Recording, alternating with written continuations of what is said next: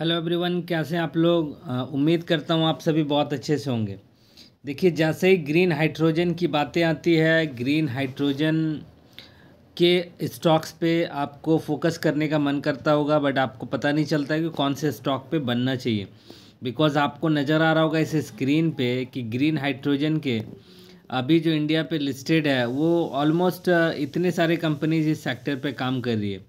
अब क्या काम कर रही है? कौन सी कंपनीज़ हो सकता? बहुत अच्छा प्रॉफिट आपको निकाल के दे। और आ, कौन से स्टॉक्स पे बने रहना चाहिए? तो आज की वीडियो पे एक सेफ़ एंड सेफ़ स्टॉक मैं आपके साथ में शेयर करने वाला हूँ। तो इस वीडियो पे बने रहिएगा। सबसे पहले हम लोग जानते हैं कि ग्रीन हाइड्रोजन है क्या? ग्रीन हाइड्रोजन है क्या? ग्रीन हाइड्रोजन की प्रोसेसिंग कैसे होती है? आ, आ, वो हम लोग सीखेंगे। इस वीडियो के माध्यम से जानेंगे। तभी हम लोग आ, तभी हम लोग समझ पाएँगे कि इस कौन सा स्टॉक है जो इसमें हमको प्रॉफिट दिला सकता है। तो देखिए मैंने और भी वीडियोस पे इसके बारे में बहुत बार चर्चाएँ की हैं कि ग्रीन हाइड्रोजन एक ऐसा फ्यूल है जो ऑलमोस्ट एकदम ज़ीरो कार्बन इमिशन है और इसको बनाने के लिए आज भी हाइड्रोजन्स बन रहे हैं। बट हमारा जो ये बिना इलेक्ट्रिसिटी के ये हाइड्रोजन प्रोड्यूस नहीं हो सकता। इसमें बहुत ज़्यादा कॉस्टिंग नहीं लगती है वाटर पे इलेक्ट्रोलाइज़र के थ्रू करंट को पास किया जाता है, जिससे पानी दो भागों में टूट जाती है। हमारा पानी का जो केमिकल फार्मूला वो एच टू ओ है। दैट मीन्स यहाँ पे हाइड्रोजन भी है और ऑक्सीजन भी है। इसे अलग अलग करने के लिए हमें इलेक्ट्रोलाइजर्स का प्रोसेस करना पड़ता है, जिससे हाइड्रोजन अलग हो जाती है, जिसे फ्यूल के तौर पे हम लोग यूज़ करते हैं, इसे कंटेंट किया जाता है। और ऑक्सीजन को जो है ना ऑक्सीजन को अलग तरीके से स्टोर कर लिया जाता है। तो इससे क्या हो सकता है? तो तीन चीज़ें हो सकती है। पहला तो एविएशन सेक्टर पे इसे यूज़ किया जा सकता है दूसरा जो है केमिकल मैन्युफैक्चरिंग पे इसे यूज़ किया जाता, और तीसरा जो है इसे शिपिंग पे यूज़ किया जा सकता।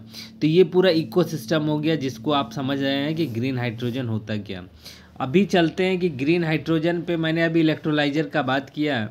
और इलेक्ट्रोलाइज़र ही बना रही है ये कंपनी जी हाँ और ये मैं बार बार कह रहा हूँ, इससे पहले हमने एल एन टी इन्फोटेक के बारे में बहुत सारे वीडियोस बनाए थे, जब वो स्टॉक पंद्रह सौ, सोलह सौ, सत्रह सौ रुपये पे लास्टली मैंने अपडेट किया था, उसके बाद तो रॉकेट ही बन गया।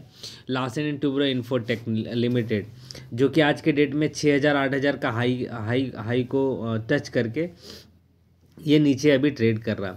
तो ये देख लीजिए, यहाँ पे infrastructure hydrocarbons powers process defence technology कल भी मैंने इस पे वीडियो बनाया था। बहुत कम लोगों ने इस वीडियो को देखा, इसके पहले ही वाला वीडियो है। बुलेट ट्रेन्स के प्रोजेक्ट पे भी काम कर रही है तो ये बहुत ही ज़बरदस्त मतलब अजीब टाइप की कंपनी है, जिसमें आप एक सेप प्ले करके आप आराम से पैसा कमा सकते हैं। दूसरा, ये डिविडेंड देने वाला एक डेट फ्री कंपनी है तो इसे देख सकते हैं। अभी देखिए, इसका पाँच लाख करोड़ की मार्केट कैप है। बहुत बड़ी कंपनी है, इंडिया पे नहीं है, पूरे इंडिया पे नहीं, इंडिया से बाहर भी इस कंपनी का ज़बरदस्त नेटवर्क है। तो अगर इस साल के चार्ट पे ध्यान दिया जाए तो जो ये स्टॉक ट्रेंड को फॉलो कर रहा था, उस ट्रेंड से नीचे ट्रेड कर रहा तो थोड़ा सा करेक्शन अगर आ जाए, और अगर ये स्टॉक आपको ट्वेंटी फाइव हंड्रेड या twenty eight hundred twenty six hundred के पास में मिले तो मुझे लगता है कि इस स्टॉक पे एक बार बिट तो बनता है। ये बिट जो है ना, ये आपको बहुत अच्छा प्रॉफिट दे सकता है। ये इलेक्ट्रोलाइजर्स बनाने वाली कंपनी है। जी हाँ इलेक्ट्रोलाइजर्स के लिए मैन्युफैक्चरिंग ऑलरेडी स्टार्ट हो चुकी है। दूसरी कंपनी वेल है, भारत हैवी इलेक्ट्रिक्स लिमिटेड उसने भी, उस कंपनी ने भी इलेक्ट्रोलाइजर बनाने का सेटअप ऑलरेडी स्टार्ट कर दिया। तो वेल तो मैंने 220 पे ही आपके साथ में अपडेट किया। इस स्टॉक को कंटिन्यूसली आपके साथ में अपडेट कर रहा हूँ। अगर आपने अभी तक इस स्टॉक पे कोई पोजीशन नहीं बनाया तो आप अपनी एनालिसिस कीजिए, अपने फाइनेंशियल एडवाइजर से कंसल्ट कीजिए और स्टॉक पे बनिए। मुझे लगता है कि इस स्टॉक पे एक ज़बरदस्त मोमेंटम अगले पाँच सालों के अंदर में अगर गवर्नमेंट रहती है तो।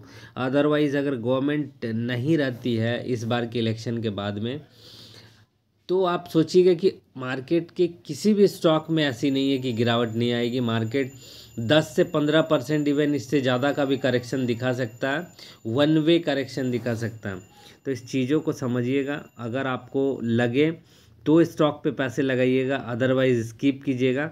मुझे लगता है इस स्टॉक का जो पी है ना, अभी सस्ते पे मिल रहा है माल। बहुत ज़्यादा सस्ता तो नहीं है। बट ऑलमोस्ट आप मान सकते हैं कि ये अभी बहुत ही मतलब वैल्यूएबल पे है। आगे और भी इसमें potential nine thousand ten thousand जाने की पोटेंशियल रखता है ये स्टॉक अगले पाँच सालों में। तो इसे ध्यान दे के इस स्टॉक पे रखिएगा और हमारे मेंबरशिप से जुड़िए इसी तरह के अपडेट्स पाने के लिए बहुत तगड़े अपडेट्स वहाँ पे मिलते हैं। Nifty bank, Nifty stocks news articles market के रिगार्डिंग आउटलुक कहाँ पे क्या हो रहा अभी देखिए, अभी एक लेटेस्ट न्यूज़ बता रहा हूँ। जेनरिक मेडिसिन पे बहुत सारी चीज़ें मतलब चल रही हैं। अभी कोई क्लियरेंस नहीं पता चला बट इंडिया की कुछ ऐसी कंपनीज़ है जो जेनरिक मेडिसिन पे बहुत ज़्यादा फोकस की हुई है। Research and centre development centres चल रहे हैं बातचीत। अगर ऐसा होता तो कुछ ऐसे कंपनीज़ है जिसमें बहुत अच्छी मोमेंटम हो सकती है। वो न्यूज़ आर्टिकल मैं अपने मेंबर्स के साथ में शेयर करूँगा भी, और उम्मीद करता हूँ आप भी हमारे साथ जुड़ने के लिए ज़रूर उत्साहित होंगे। तो जुड़िए हमारा गोल्ड मेंबरशिप यूट्यूब चैनल का, एक्सेस कीजिए टेलीग्राम चैनल मिलेगा जहाँ पर ये सारी चीज़ें अपडेट करता हूँ।